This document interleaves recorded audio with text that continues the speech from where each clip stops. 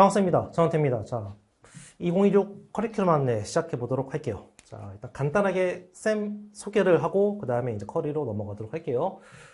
전영태입니다. 아, 메가스터디에서 강의를 하고 있고 이 강의 경력, 강의 철학을 간단하게 얘기하고자 하는데 여러 가지 쌤이 이제 그 강의 경력을 가지고 있거든요. 그 중에 무엇을 이제 가장 어필하면 좋을까 생각하다가 바로 이거. 쌤은 재종반에서 이 10년 이상 강의를 했고 거기서 좋은 평가를 얻어가지고 인터넷 강의에 데뷔하게 되었거든요. 이 재유생들은 일반 그 고3 학생들과 달라.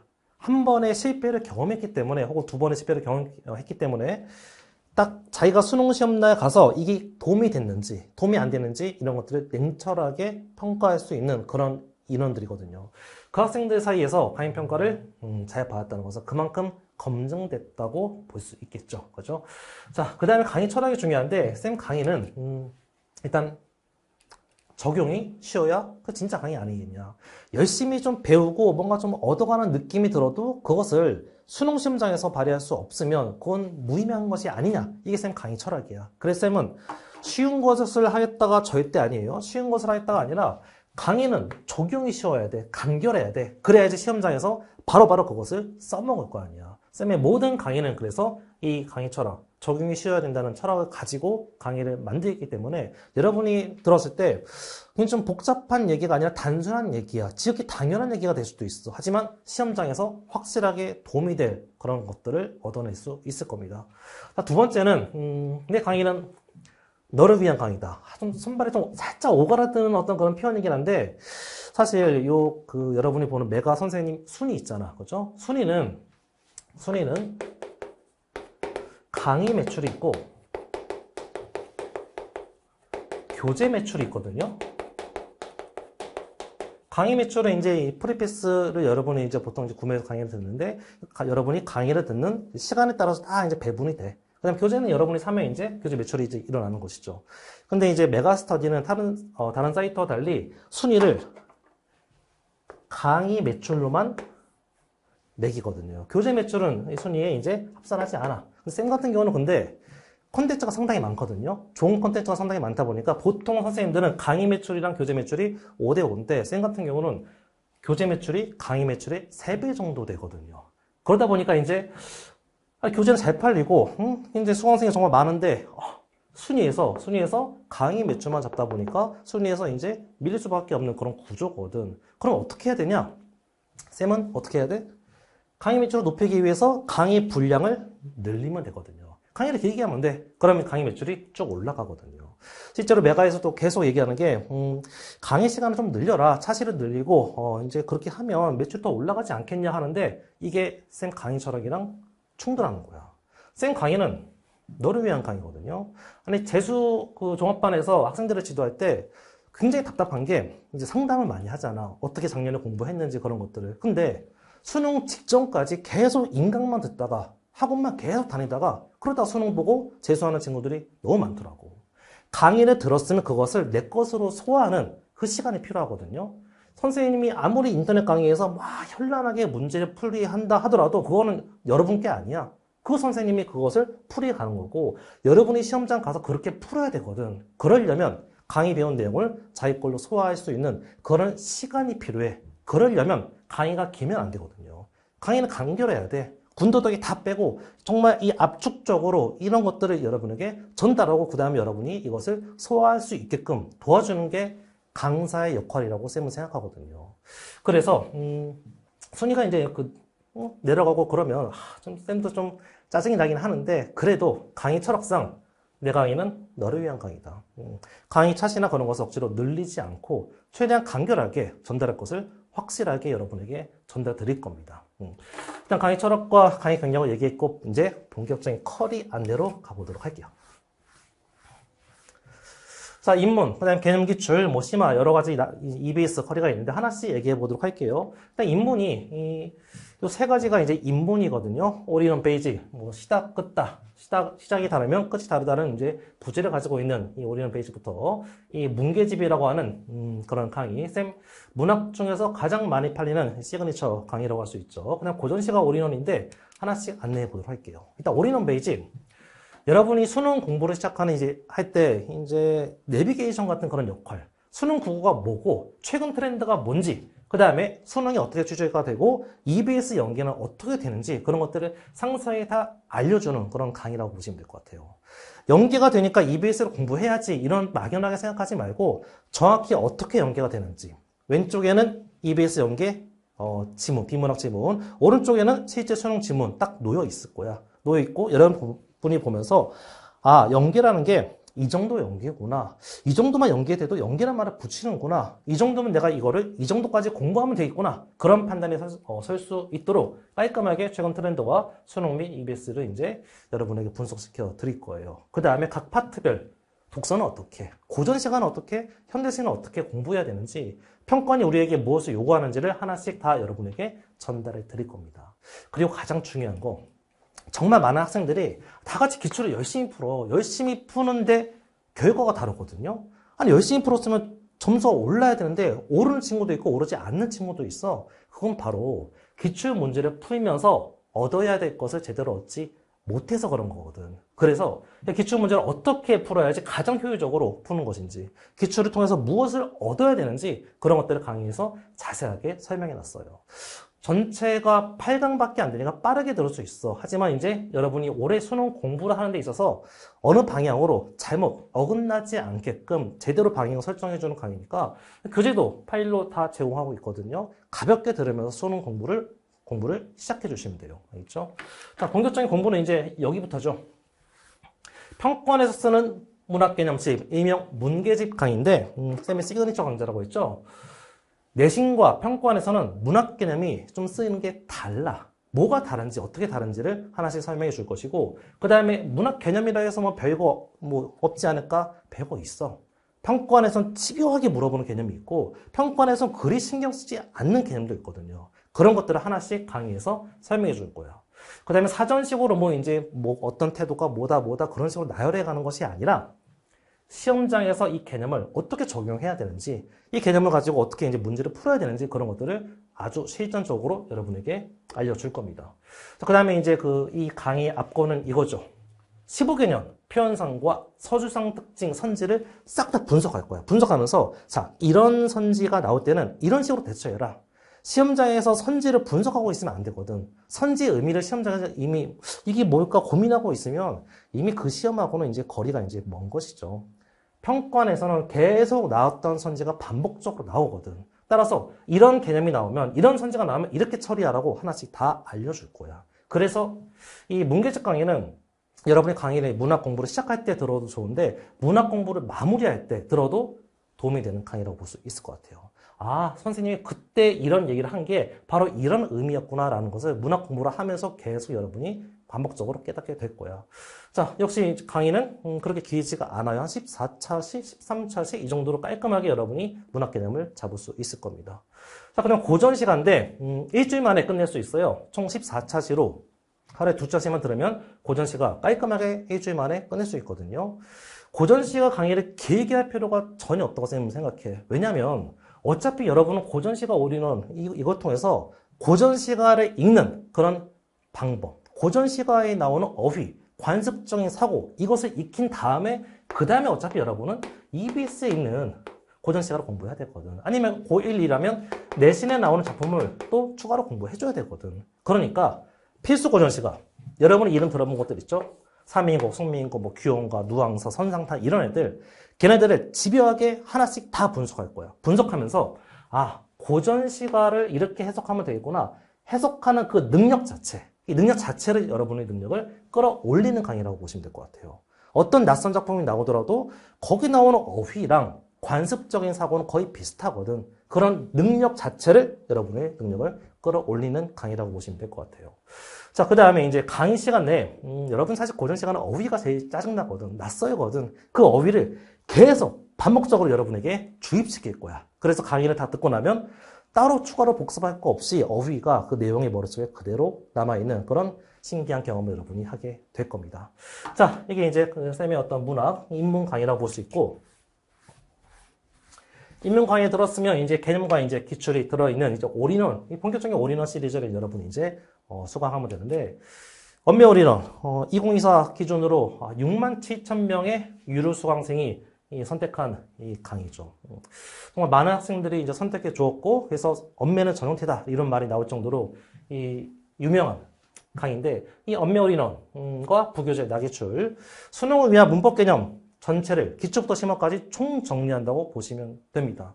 어떤 친구들은 이제 쌤의 언매 all-in-one이 다른 강사 이제 그 문법 강의에 비해서 좀 더 볼륨이 적어. 그 적은 이유는 아까도 얘기했죠. 강의 철학이라고.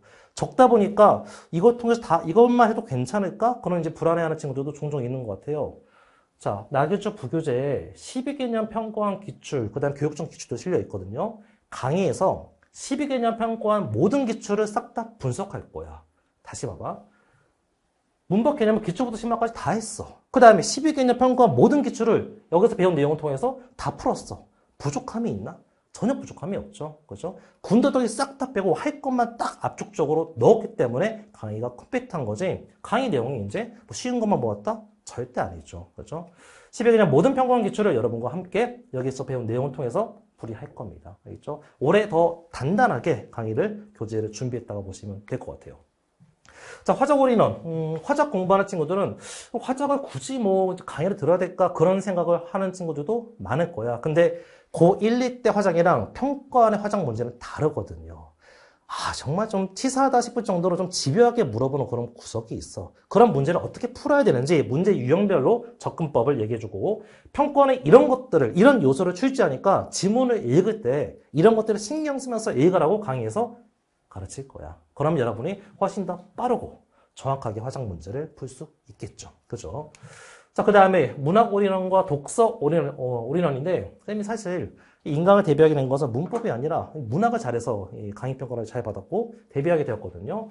해석이 쉬워지는 문학 올인원. 음, 보통 이제 그, 이 기출 강좌들이 이 기출 문제 풀이 너무 좀 집중을 해 있더라고요. 그래서 이제 올해 문학 all-in-one은, 음, 기출 분석은 당연히 하죠. 그죠? 하지만 추가적으로 작품 해석 능력, 작품 해석 능력을 향상시키기 위한 장치를 넣어가지고 여러분이 항상 이제 연계 작품이 나오잖아 비연계 작품이 나오잖아 그지? 비연계 작품이 나올 때도 그 비연계 작품을 해석할 수 있는 근본적인 능력을 강의해서 여러분에게 이제 음, 지도할 겁니다. 그 다음에 전공자의 시선으로 아, 평가 문학 문제가 이런 의도에서 출제가 되었다. 전공서적에 이런 내용이 나오고 교수님들은 이런 생각을 한다. 그런 것들을 강의에서 다 담아내가지고 아 평가 문제를 이런 식으로 교수들이 제작했으니까 나는 이런 식으로 문제를 풀면 되겠구나. 그런 것들을 여러분이 이해할 수 있게끔 강의에서 다 녹여 놓았습니다.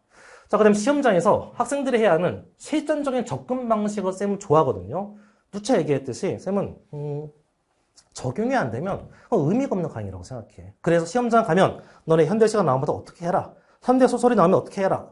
고전 소설이 나오면 어떻게 해라. 그런 것들, 행동 강령들을 딱딱딱 제시하면서 시험장에서 바로바로 바로 여러분이 적용할 수 있게끔 강의 내용을 구성했다고 보시면 될 것 같아요. 자, 독서리론. 음, 독해가 쉬워지는 독서리론이라고 이제 이름을 지었는데 변화된 수능 독서에 최적화된 강의라고 보시면 될 것 같아요. 최근 독서, 어, 지문의 난이도가 예전이랑 아예 달라. 굉장히 지문의 난이도가 쉬워. 어, 근데 선생님 이번 수능 보니까 독서 정답률이 상당히 좀 떨어져 있던데요. 음, 지문의 난이도는 쉬운데 선지 난이도가 어, 난이도가 이제 만만치 않아서 그래. 즉 교육청이랑 음, 예전 기출이랑 또 다른 게 뭐냐면 지문은 쉽지만 선지에서 굉장히 디테일하게 물어봐. 디테일하게 물어보니까 지문은 쉽다고 대충 지문을 읽으면 어 판단이 안 되는 거야. 판단이 안 되는데 수능 시험이잖아. 수능 시험장에서 다시 지문으로 가서 보고 왔는데 판단이 안 돼. 내가 두 번이나 시간을 썼는데 판단이 안 되니까 그때부터 멘붕이 일어나고 대충 고르는 거지. 대충 고르니까 틀리는 것이죠.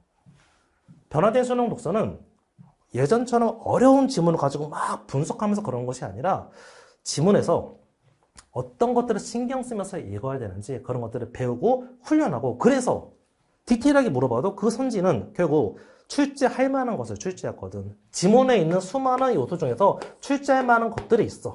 항상 지금까지 출제했던 것들. 그런 것들을 집중적으로 파악하면서 지문에 읽는 훈련을 할 거야. 그러면서 최근에 이 나온, 나온 이 수능, 이 독서, 여기에 최적화된 학습을 여러분의 쌤과 같이 진행을 하게 될 겁니다. 자, 올해 상당히 많이 이제 신경 써서 이제 좀 변화를 준 어떤 부분이고, 음, 자, 그러면 이제 심화로 이제 넘어오시면 되겠죠. 심화, 이 문법 clear가 있는데, 문법, 어, 이걸로 다 끝낸다고 하지 않았나요? 어, 그렇지. 문법은 언매 all-in-one으로 사실 끝낼 수 있어. 근데 문법이란 게, 휘발성이 상당히 있어요. 공부하고 나면 한, 한두 달 지나면 이제 개념이 서서히 사라지기 시작하다가 한 3, 4개월 지나면, 그치, 내가 문법 공부를 했었지. 했었다는 생각밖에 안 나거든. 그래서 빠르게 여러분의 개념을 다시 잡아주고, 그 다음에 여러분의 약점을 보완시켜주는 게 문법 clear야. 문법 clear.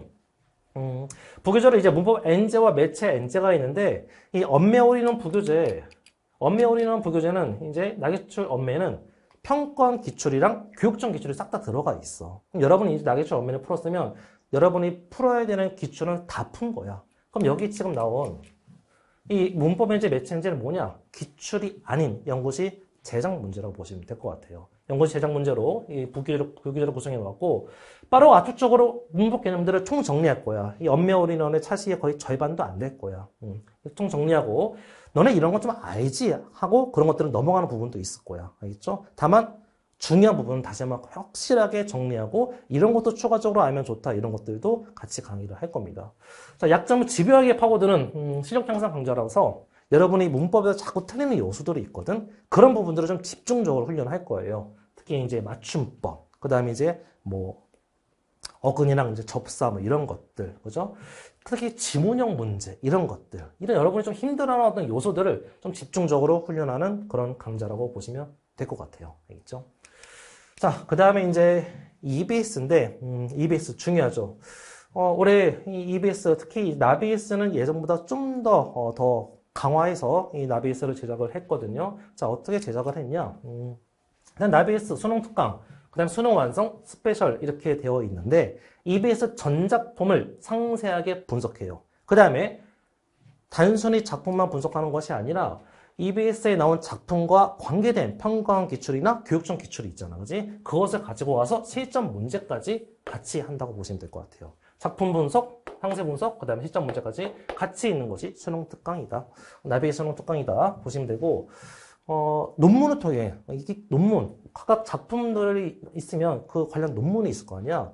평가원은 결국 문제 출제할 때, 음, 출제 근거가 있어야 돼. 이 문제를 왜 출제했냐 하면 아 이런 논문이 있기 때문에 이 논문에서 근거해서 출제했다고 이제 답변을 해줘야 되거든요. 그 논문, 이 관련된 논문을 가지고 아 이 작품과 관련된 이 논문의 이 부분, 이 부분은 보기로 나올 만한 부분이고 이 논문은 이 작품을 이해하는데 교수님이 어떤 생각을 가장 잘 보여주고 있다. 그런 논문들을 따와서 여러분의 어떤 언어로, 즉 교수님들 어떤 어려운 언어가 아니라 여러분의 언어로 바꿔서 그 논문으로 교수님들이 어떤 시선으로, 출제자가 어떤 시선으로 작품을 바라보는지 그런 것들을 상세하게 안내해 줄 거야. 뭐 어렵게 절대 안 해요. 쌤의 강의는 적용이 쉬워야 된다. 쉽게 쉽게 할 거야. 자, 그 다음에 전공자의 시선, 시선으로, 음, 이런 요소들은 문학에서 중요한 요소들이고 작품이 달라져도 이런 요소들은 항상 출제하거든요. 그 출제 요소들을 중심으로 집중적으로 분석을 할 겁니다. 자, 그 다음에 나비에스 변형 문제인데, 아, 올해 대박이 났죠. 응? 나베이스 편형 문제, EBS 있는 그 주요 작품을 토대로 평권식으로 문제를 제작한 거야. 연구실에서 자체 제작한 문제고 퀄이 좋다고 칭찬을 올해 많이 들었습니다. 그리고 음, 주요 작품 토대로 이제 전작품이 아니야 주요 작품 토대로 제작했는데 올해 6평 현대시, 현대소설, 고전소설, 고전시가 싹 다 이 교재에서 나왔습니다. 9평 현대시와 현대소설이 이 교재에서 나왔고 수능날 고전소설 정을선전 고전시와 간민가도 역시 나비스 편형 문제에서 나왔죠. 그만큼 작품을 바라보는 이제 안목이 좋다는 것이고 문제 역시 여러분이 기대해도 좋을 만큼 아주 평권과 거의 흡사할 정도로 굉장히 높은 퀄로 문제를 올해도 제작을 할 겁니다. 어, 선생님 근데 이 나BS는 수능 특강인데 수능 완성은 왜 special인가요? 응. 나BS 변형 문제는 수능 특강 강의가 끝나고 나자마자 나와. 이 나BS 변형 문제. 그럼 여기는 수완이 안 실리잖아. 따라서 수완 변형 문제는 수능, 나BS 수능 완성 뒤에 같이 실려 있어. 그래서 이제 나BS 수능 완성은 나BS 수능 완성, 여기 작품 분석, 실전 문제, 그 다음에 변형 문제까지 실려 있기 때문에 special이라고 이름 붙인 거야. 알겠죠? 자, 그 다음 올해는 이제 나비에스 엄매를 신설했는데 EBS에 있는 그 개념들을 좀 다뤄달라고 얘기를 계속 하더라고요. 음, 별 대단한 개념도 없거든, 사실. 엄매 올인해서 개념 다 다뤘는데, 그래도 추가로 해달라고 해서, 그래, 가볍게 테마별로 EBS에서 다루는 주요 개념들, 그다음 관련된 기초 문제를 가지고 나베이스 엄매로 여러분이 EBS에 있는 이 엄매 절대 고민하지 않게끔 깔끔하게 음, 마무리시켜 어, 드릴 거예요. 자, 여기 쌤이 할때 EBS 컬이고 음, 그 다음에 이제 6평, 여러분 올해 보는 6평, 근데 9평 중요하죠. 단순히 해설 강의로 끝나지 않고 상세 해설을 할 거야. 상세 해설. 그리고 전문항 해설지도 줄 거거든요. 상세 해설을 하면서 아 그래 올해 트렌드가 이런 거다. 평가는 이런 걸 주목하고 있으니까 여러분 수능 시험장 가서 이렇게 해야 된다. 이런 것들을 집중적으로 얘기를 하고 이후에 학습 방향을 설정해 줄 겁니다. 구평도 마찬가지야. 상세하게 해설을 한 다음에 아 구평에서 이렇게 나왔으니까 수능 시험장에서 이런 것들은 이제 여러분 조심해서 가고 그 다음에 이제 이런 식으로 공부하면 되지 않겠냐 이런 것들을 아예 강좌로 만들어서 여러분에게 어, 확실하게 음, 불안하지 않게 6, 9평 잡아주도록 할 거예요. 그 다음 final 음, 나BS final 일주일 만에 끝내면 나BS final로 해가지고 이 나BS 교재를 가지고 다시 한번 이제 압축적으로 final 강좌를 만들 거야. 새로 여러분의 교재를 살 필요 없이 그냥 이 교재 그대로 가지고 어, EBS 마무리해 주시면 됩니다. 거의 뭐 이때 있는 것들을 정말 압축적으로 하니까 음, 중요한 작품은 상세하게 그리고 나올 가능성이 좀 떨어지는 작품은 얘기할 거야 확실하게 이게 이 작품은 나올 가능성이 좀 떨어지니까 좀 대충 봐도 된다 줄거리만 봐도 된다 이런 식으로 이제 확실하게 강약 구분하면서 빠르게 수능 직전에 EBS를 여러분이 이한 강좌를 통해서 다시 정리할 수 있도록 해줄 거예요. 자, 그 다음에 수능 시험장에서 행동 강령 어떻게 해야 되는지 하나씩 확실하게 잡아줄 수 있는 파이널 최종 점검 이 강의를 이제 가져와서 여러분에게 시험장에서 떨리더라도 해야 될 거는 해야 되잖아. 그지? 그런 것들이 뭔지 집중적으로 여기서 여러분에게 잡아줄 겁니다. 그 다음에 6구평에서 여러분에게 좀 이제 어려웠던, 문제가 되었던 그런 요소들을 또 여기 담아가지고 이제 여러분에게 마지막 최종 정리를 시켜준다고 보시면 될 것 같아요. 자, 올해도 저한테 모의고사는 3회 분량으로 나오고 엄매 모의고사는 10회 분량으로 이제 파이널 때 나오게 됩니다. 쌤은 준비를 올해 정말 많이 했거든요. 쌤은 이미 준비가 다 끝났어. 올해도 열심히 달릴 준비가 끝났고 여러분만 잘 따라오면 됩니다. 자, 본강에서 보도록 할게요.